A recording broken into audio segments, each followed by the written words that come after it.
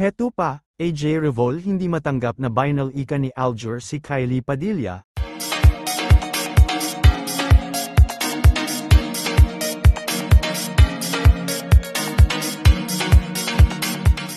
AJ Revol, hindi umano matanggap ang muling pagbabalikan ni na Aljur Abrenica at Kylie Padilla. Ayon sa ilang ulat, labis na nasaktan ang aktres matapos mabalitaan ang reconciliatory na hakbang ng dating magkasintahan, ilang malapit sa aktres ang nagsabing nagulat ito sa balita.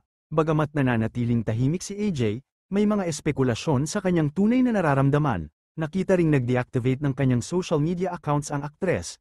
Hindi malinaw kung ito'y may kinalaman sa issue. Si Aljur at Kylie ay parehong naglabas ng pahayag ukol sa kanilang desisyon. Nananatiling walang komento si AJ tungkol dito. And this are Chika for today mga ka-showbiz sana nag-enjoy kayo. Don't forget to like, share, subscribe and click the notification bell for more updates.